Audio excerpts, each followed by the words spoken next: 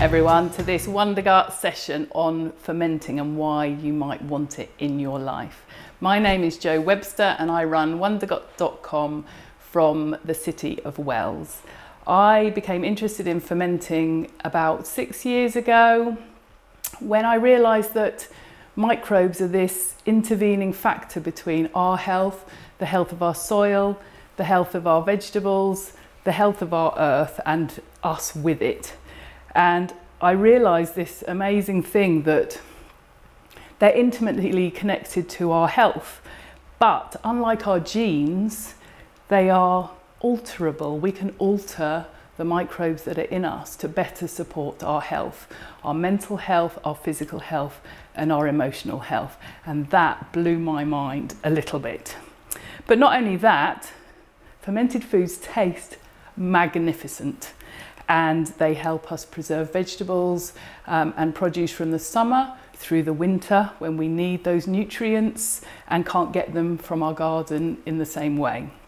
So today I am delighted to have a slot at Wells Virtual Food Festival to show you how to do this yourself. It is easy, there are some simple practical rules to maintain safety and once you've seen me make this tomato salsa, you will know what those basic rules are to be able to do, um, to make your own ferments from a range of vegetables. It's not just about cabbage. So, what is fermentation? Fermentation is a process by which microbes break down sugars, sometimes proteins and other things too, but sugars in foods. And in doing so, they produce a very small amount of ethanol, alcohol, some carbon dioxide, certainly initially, which is a lot of bubbling, but also the means by which we manage the process encourages the growth of a lot of lactobacillus bacteria, and they produce lactic acid. So that the, the process of fermentation is in a way controlled decomposition and it is very, very similar to the process that's happening in our large intestine, the last bit of our gut leading down to our anus. So what we get to see when we're fermenting vegetables is a mirror to, to some extent of what's happening inside our guts. And this process to me is completely magical because you can't see them, but on these vegetables are microbes. There's Klebsiella, there's E. coli, not the dangerous kind generally. There is Leuconostoc mesenteroides, there is Lactobacillus plantarum, there's all sorts of microbes on here. And what we're going to do, what I'm going to show you how to do is create an environment where those microbes thrive and they go through a range of there being a broad range of microbes and then as the lactobacillus produce that lactic acid, the environment becomes more acidic and the, and the microbes that like acid less start to die down and those lactic acid bacteria start to thrive and take over. And as a result of that, a number of things happen. Firstly, what you put into your ferment is utterly transformed into something vibrant and tangy and um, more bioavailable for your digestive system. So not only does it make the nutrients in these vegetables more available to us to, to absorb, but also we get a plethora of beneficial microbes taking over and we consume those too. So as a result of fermentation, we get transformed vegetables in a new and novel taste that just doesn't taste the same as how they were before. We get more accessible nutrients and we get a load of probiotic microbes with us. And when we're, when we're working with vegetables in this way, we get fiber, prebiotic fiber, which is fiber that when we eat it and it, it can't be absorbed in our small intestine, we do not have the enzymes to break down fiber. It gets to our large intestine because we can't absorb it and it feeds the microbes living in our gut. And those microbes break down that fibre. Not only do they provide, make those nutrients more available to us in our large intestine, but they also produce a, a dazzling array of metabolites, so byproducts from this fermentation process. Now, the list is gigantic and slightly mind blowing, but one of the main things they produce are a range of short chain fatty acids, and they feed the cells lining our gut, our enterocytes. So, those short chain fatty acids help to support the lining of our gut. And of course, that is a crucial interface with the outside world. Um, we have a huge amount of immune system in our gut um, and we have a huge amount of nervous system in our gut. So those um, short chain fatty acids, fatty acids are helping to maintain that gut lining nice and healthy, not inflamed and doing its job of, of deciding what's going through that barrier into our blood and our lymphatic system and what isn't. So that is a crucial role, especially because we now know that more and more um, illnesses, cancers, um, dementia, diabetes, atherosclerosis, all sorts of things are being linked with an inflammatory process and more and more people are beginning to think this process begins in our gut.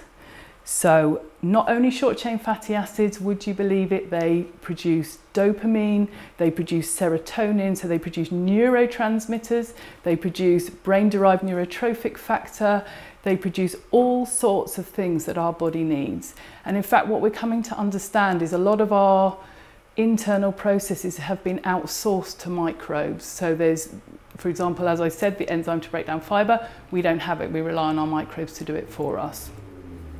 Um, in fact, there's good evidence that the mitochondria inside our cells, which are the absolute powerhouse that produce our energy for us, were once microbes that we've brought into our system to help us.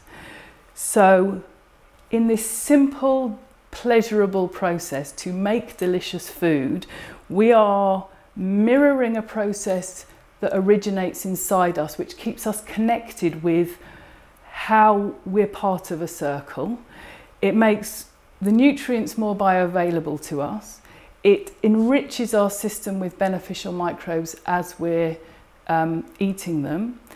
And it is really, really good fun. And what I have found personally is it reminds me that I'm part of something bigger. And I think it's really interesting with the COVID 19 um, stuff happening that we see viruses, we see microbes as a problem.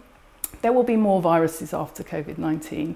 And if we just sit back and rely on a vaccine, we aren't doing all of the other things we could be doing to support our health and to build our understanding of how our existence and our health is a continuum with these microbes. They were here before us, they will be here afterwards. They are pretty much everywhere.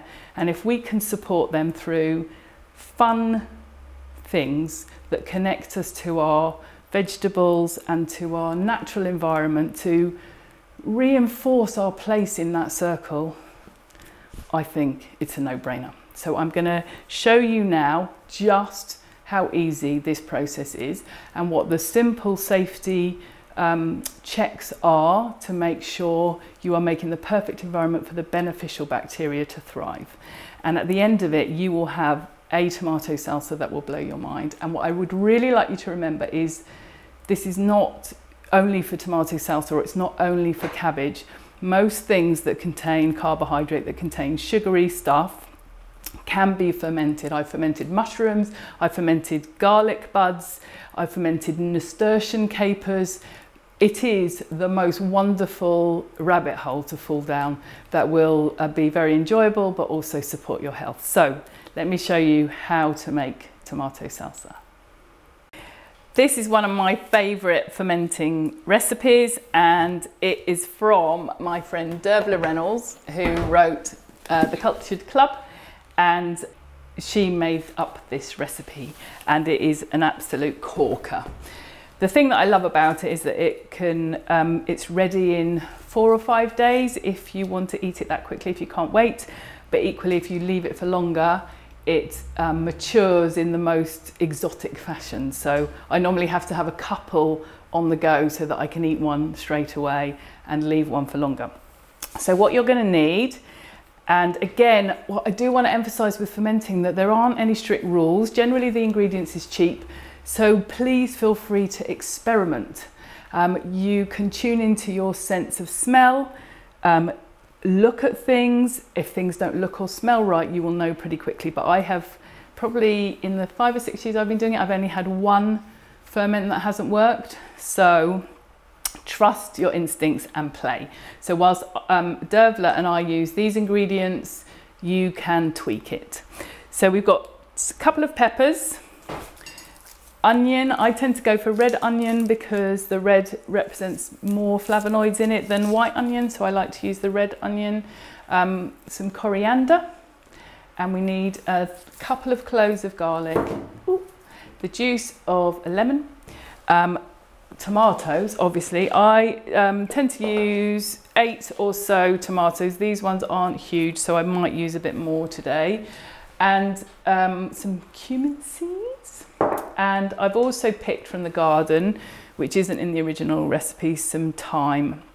So I'm also training in medical herbalism at the moment and I'm exploring using medicinal herbs in my ferments. Now, thyme is a fantastic herb packed with essential oils. I can smell them, but you can't um, at the moment. And um, they are profound antimicrobials, which sounds like a bit bizarre that I'm putting them in a ferment where I want microbes to grow. But these uh, thyme is really good at preventing problematic bacteria growing and particularly in our respiratory system. So chucking some of that in my ferment felt like a good idea today. And some salt. Now I use Maldon sea salt. Um, it doesn't really matter what sort of salt you use. Some people like to use Himalayan salt. Um, I don't tend to use common garden table salt because it tends to have quite a few packers in it or bulking agents. Um, so I like sea salt. Now, what the salt will do, as you will see in a minute, is draw out the moisture from the vegetables, break down the cell walls, but it also interacts with the um, constituents of the cell walls to keep your vegetables crispy.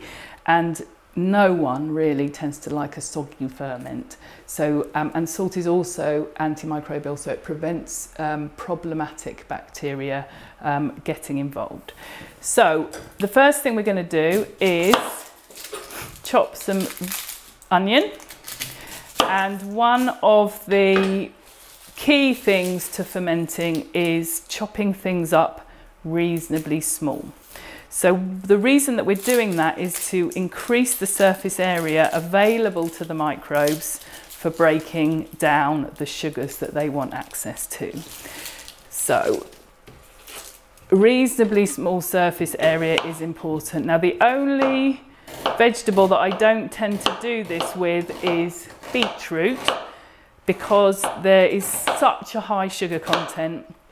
If you cut it really, really small, everything goes a little bit crazy and um, the outcome isn't always very nice. But with most vegetables, nice small chunks means that you're making it easy as possible for those microbes to get access.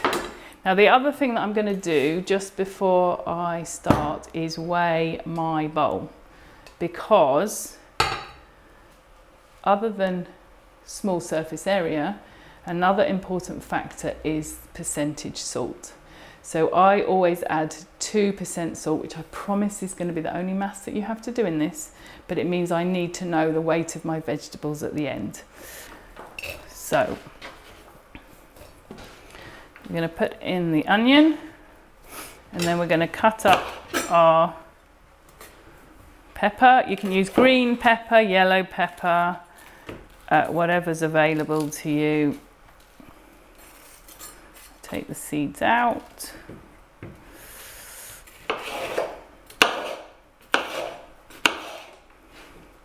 Cut them up. And pepper's obviously part of the capsicum family. So you've got lots of beneficial herbal constituents in here. Tastes marvellous, smells pretty amazing as well. Get those in there. Obviously, if you don't like pepper, you don't have to put pepper in. I can't emphasize enough how, how much in teaching this, humans want to get things right, whatever that means. Um, and actually experimenting and finding out the results is one of the things that I love most about fermentation. Uh, I could probably call myself a little bit of a control freak and fermenting foods has really helped with that because you're not 100% control in control of the process. So you get to do some stuff and find out what happens depending on what the microbes do, how warm your room is. Um, yeah, so in terms of variables, you've got the surface area that you provide will affect the rate of fermentation. The warmth of your room, so I normally have my ferments in my kitchen or I've got a ferment cupboard in the corner of my room and um, that's at normal room temperature, sort of 20, 21 degrees. You'll find if the temperature goes up, things will happen much faster. And if the temperature goes down, microbial activity will slow. So when your ferment is ready, which is based on what your taste buds tell you, you can put your ferment in the fridge and the um, fermentation process won't stop, but it will slow right, right down.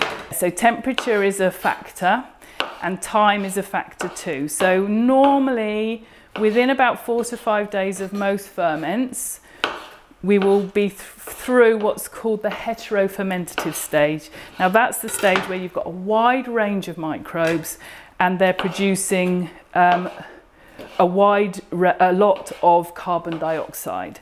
So you know when bubbling stops um, that you're through that that stage where there's lots of different microbes in action.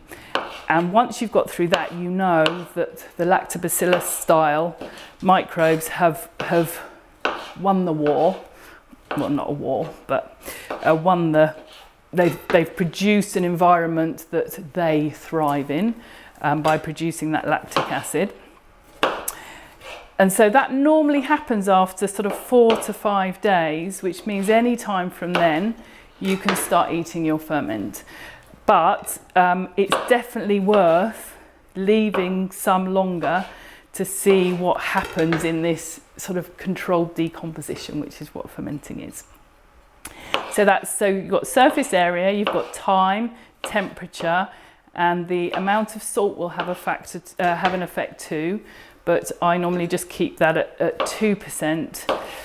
Um, yeah, if you're doing brines, sometimes you can do um, things whole, like um, little dill uh, pickled cucumbers, and then you're adding salt water into the um, into the process over whole vegetables, but that's that's probably a whole different session.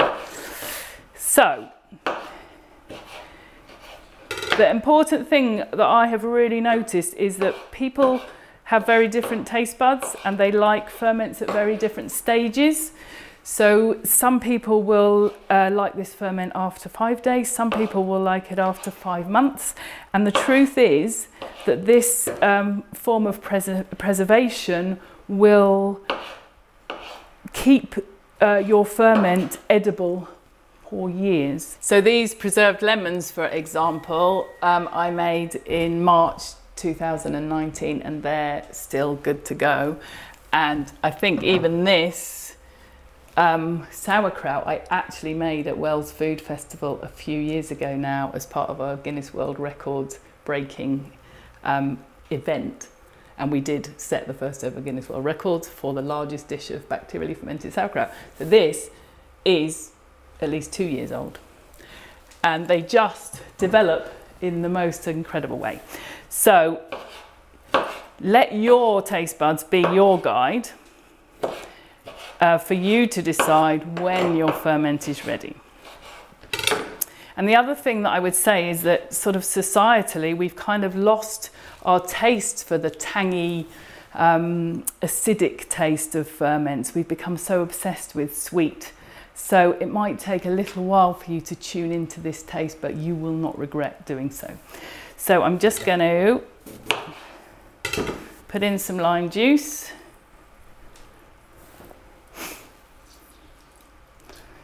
and I'm going to chop up some coriander.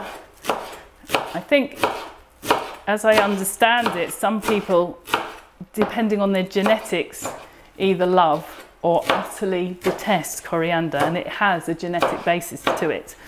So I'm really sorry if you're one of those that despise coriander. I'm sure you could use parsley instead. I'm going to put a couple more tomatoes in there, I think. And then I'm going to put my garlic in. Smell is amazing. Now, the other thing I'd say with this ferment, or with all ferments when you're starting out, is I would recommend putting them on, um, we're going to pack them into a kilner jar in a minute, and um, I would put the kilner jar on a plate because as those microbes take off, they do produce an impressive amount of carbon dioxide. And what we're, the environment that we're creating, we need to exclude oxygen. So it's an anaerobic environment. So the microbes that we want to thrive don't like oxygen and your sort of common garden molds and those sorts of things do. So that means we tend to like to fill the jar up to push out oxygen at the top. Um, and that means you have a reasonably full jar. So when carbon dioxide is produced, often the fluid is forced out the top. So you've got three cloves of garlic here, um, all over your lovely surface. So if you put it on a plate, that will catch all of that. So we're creating an anaerobic, so no oxygen, acidic environment. So that means things like botulism and the things that people tend to worry about do not thrive in this environment. Uh, we're making it perfect for the microbes that we want. There we go. So I'm going to just put a little bit of that lovely thyme in.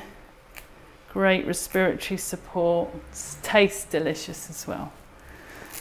And for anyone that wants a recipe, it is actually on my website, which is wondergut.com. So you can find the recipe there or buy Dervla's fantastic book. Okie dokie. So I've got 920 grams of veg. This honestly, oh, stick a bit of cumin in. If you like fennel instead, you can stick a bit of fennel in. This is just to my taste. So you need 2% salt. So if I've got 900 grams, say, of veg here, I'm going to need 18 grams of salt. Now, when you're starting out, I would recommend weighing the salt out in a different bowl because if you slip, you're going to have a lot of salt and then you have to add more veg or try and pick the salt out and it gets a bit messy. Um, so, 18 grams of salt. Now in terms of weaving this into your life, there we go, so I've got 18 grams. I'll do this alongside making dinner. Actually, when you know what you're doing, it's pretty straightforward and you can do it very, very quickly. And then this will last months and months and months. So I've added the salt, 2% salt, and now I'm gonna massage the salt through the vegetables. And it is another one of those important things is um, to make sure the salt is well dispersed through the vegetables so that it um, can have that action on drawing out the fluid and um, deterring problematic bacteria evenly. Oh, it smells magic. So what we're trying to do, um, and with tomato sauce, which happens really quickly, is get to a point where the fluid, when you squeeze it, can you see that fluid running there? So that will take a bit longer if you're fermenting sauerkraut, for example. But we need that fluid because we're going to pack this into that jar and make um, that fluid will rise to the top to block oxygen getting to the vegetables. So with cabbage, it takes a bit longer. Um, with sweet potato, you can do sweet potato ferments. Again, it takes a bit longer. I'll just literally, you can keep massaging or you can, if you haven't quite got the juice coming out, just put the bowl to one side and let the salt do its work. So that happens very quickly with Miss Salsa. Look at that. So we're now going to pack it into a kilner jar or kilner type jar. I use kilner jars because they've got the rubber edging which allows the carbon dioxide to escape. People do use jam jars, but you do get issues with the lactic acid making the lid rust. And obviously if you seal that top, there's nowhere for the carbon dioxide to go. So make sure you've got a jar where the carbon dioxide can escape. Now, this is my one piece of technology, a pickle packer, but you can use a flat-ended rolling pin or just put it in with your fist. And what you're doing here, so you just, if you're just using your fist, you just push down like that. Obviously, I've washed my hands. Um, what you're trying to do here is push out air because we don't want air in here because the microbes that we aren't encouraging like air and to push up the moisture. I don't know if you can see the moisture starting to rise up there. So can you see, I mean it is a bit squidgy but you can just see the fluid starting to rise to the top there and that is going to be our protection from mould and other things that we don't want to grow. So it looks like I could have put a little bit more veg in to get right to the top there. Um, and that's the ideal is to come up probably to this level here just to exclude um, as much air from the kilner as you can. So that's it. Some people will put um, like a very clean pebble or um, some people fill plastic bags with water to hold down their ferment. I don't want to put plastic in, con in contact with my ferment and I find that um, there's enough fluid within uh, even now to um, keep, them, uh, keep the vegetables under the fluids that have come out of them. So then I shut that up and I will put it on a plate and put it out at room temperature and watch. And what you will see um, in uh, within three to four days, you will see bubbling. You might see fluid on your plate afterwards. And as I said, within four to five days, you can taste it and start eating it or leave it for longer. So just to recap, the key things that you need to be aware of is cutting the surface area of the vegetables small to allow the microbes access, 2% salt mixed in well, and then ensuring that those um, vegetables are pushed under the level of their fluid so you don't pack them in until the fluid's really, really running.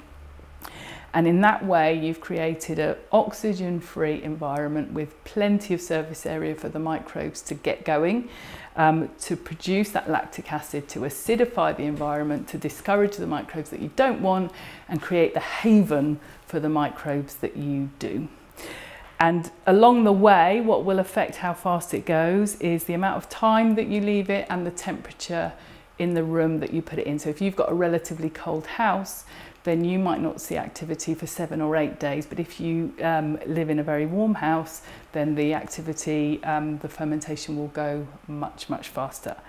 So there it is. I really, really encourage you to experiment with this. It is the most fantastic fun, makes delicious food, is beneficial to your health, and uh, in a way, key to me is that reconnecting with our environment and our our place in the grander scheme of things. So not seeing microbes as our enemy, but a part of us, which I think is going to be essential for our, our future on this planet.